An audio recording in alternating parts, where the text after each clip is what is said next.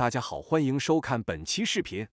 客场输给太阳，湖人这场比赛并没有出乎外界的意料。毕竟失去了詹姆斯之后，尽管湖人也迎来过一波三连胜，但实话实说，他们这波三连胜的对手实力并不出众。就算是篮网，他们也遭到了背靠背体能的影响。不过，与太阳的比赛中，湖人方面出现了一个意外的插曲，在比赛的最后时刻。由于布克对里弗斯的恶意犯规，以及艾顿站在里弗斯身前挑衅，站在一旁的贝弗利直接从背后一把推倒了艾顿，双方爆发了冲突。在贝弗利推完艾顿，并且双方发生冲突、互喷垃圾话之后，贝弗利径直离开了球场。他自己也很清楚，这样的行为过后，他不可能不会被驱逐。赛后，对于贝弗利的行为，球迷们在社交媒体上有着激烈的讨论。由于他此前有过背后推保罗的举动，不少人谴责贝弗利这种从背后推人的行为。与此同时，NBA 官方也对贝弗利给出了额外的处罚。早些时候，NBA 官方正式宣布，贝弗利因为在背后推艾顿，他被追加了三场比赛的禁赛。NBA 官方在声明中如此写道：“联盟此次决定的考虑因素包括贝弗利过往不符合体育道德的行为和历史。贝弗利被禁赛。”反而包括湖人球迷在内的一些人认为贝弗利没问题，至少就这次事件来看，贝弗利的做法没问题。作为湖人的精神领袖，当球场上出现这种年轻球员遭到对手侵犯的时刻，湖人需要有人站出来为他出头。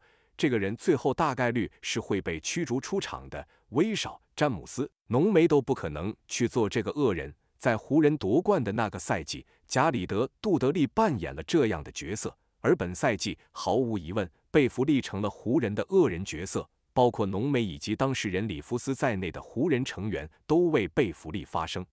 特别是里弗斯在接受采访的时候，里弗斯称他在事后四至五次对贝弗利表达了感谢，并且里弗斯表示，在他们阵中，如果有其他人遭到对手的挑衅或是类似的恶意犯规，那他们都会站出来。另外，在被禁赛之后，NBA 方面也确认。这三场比赛，贝弗利会被扣除工资。他每场比赛的平均工资接近九万美元，也就是说，三场比赛下来，贝弗利将会被扣除接近二十七万美元。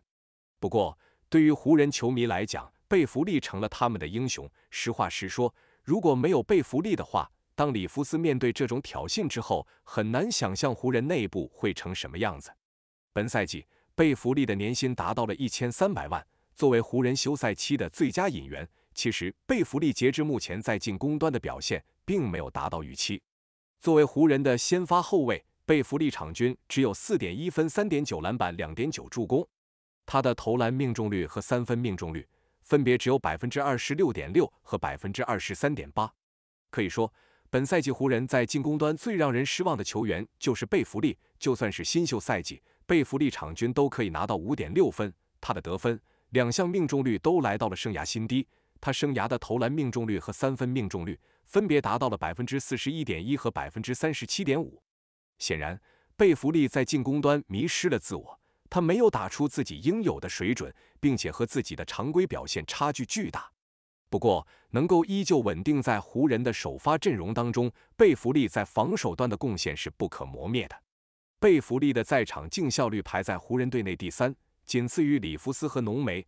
这两人都是湖人阵中攻防俱佳的球员，足以见得贝弗利的防守有多么出色。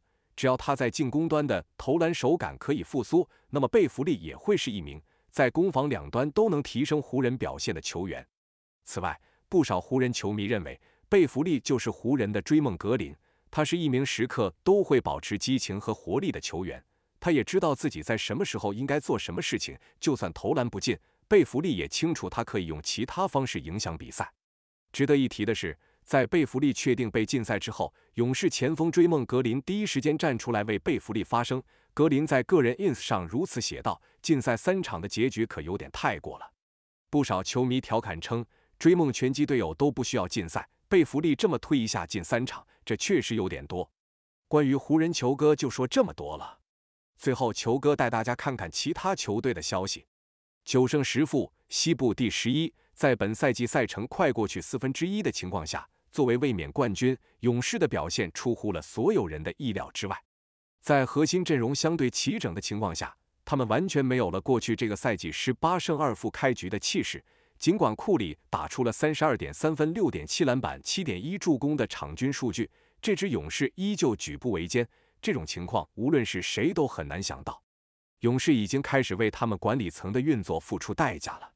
在勇士与快船的比赛中，科尔在球员轮换方面做出了一个改变，这个改变正是为他未来的一个决定做铺垫。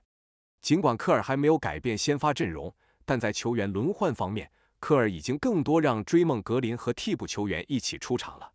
在接受采访的时候，科尔的原话是这么说的：“我们考虑再次把追梦放到替补席，为替补席增加一个持球点和组织者。